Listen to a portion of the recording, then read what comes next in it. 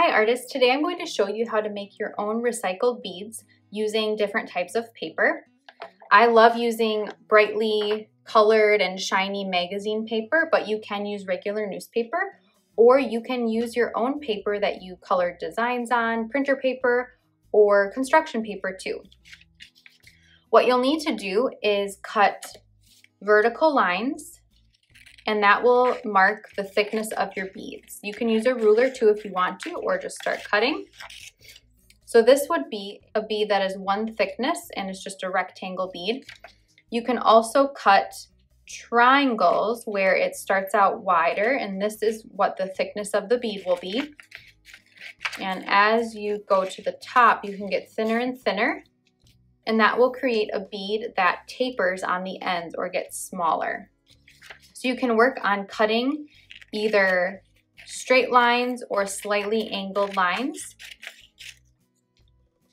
I think the tapered beads, so the lines that you cut angled, are a little bit easier to work with, so that would be my recommendation to start with. I have a bunch of different strips of paper cut, and now I'm ready to start rolling my beads. What you'll need next is either a pencil or a skewer and I have a chopstick that I might try out. And what you'll need to do is roll the paper around the pencil or the skewer, starting with the largest side first, the largest end of your paper. So this is the wider part.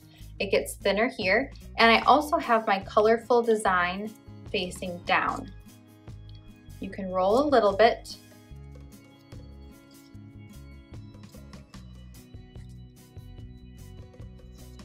And then once you get towards the end, about halfway, you can use a glue stick or a glue bottle and just put glue on the very end, the last few inches, and roll it the rest of the way. Make sure you roll nice and tightly.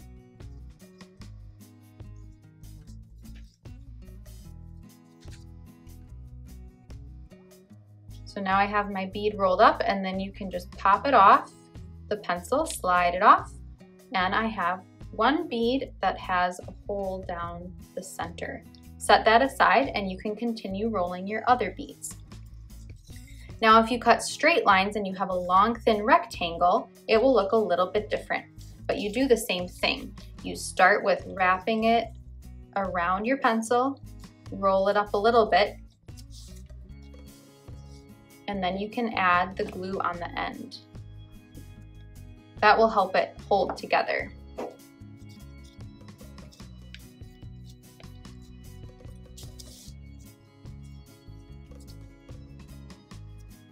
Slide it off. If you roll too tightly, it's a little bit hard to get off. Here's my next bead.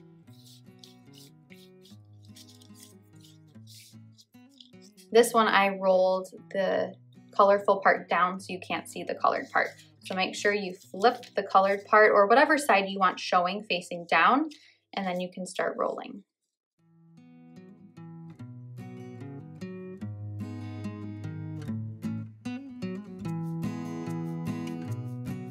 Sometimes you need to hold the very tip down so that it sticks for a little bit. It has some time to grab and then slide it off your pencil right away.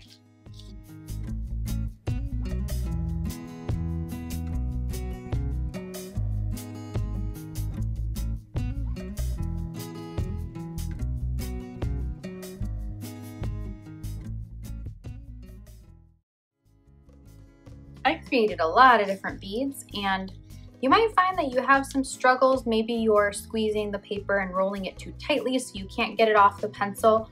Or maybe you just have a problem bead that doesn't come off the pencil well and that's okay. Sometimes we just have to persist in art and try new things and adjust things to make it work.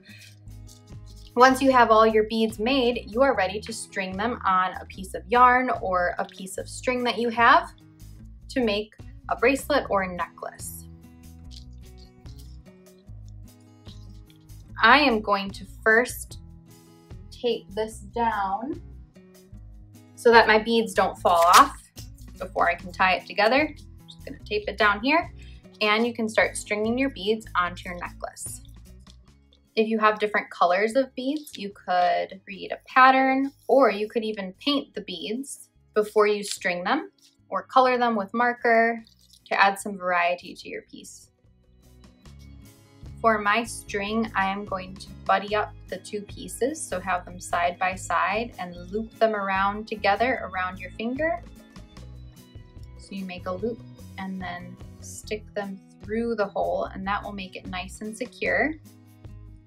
It's a little bit tricky though, and then you can pull it tight. That way the string doesn't slide open. And there you have it. Can you believe that this used to be an ad for pizza?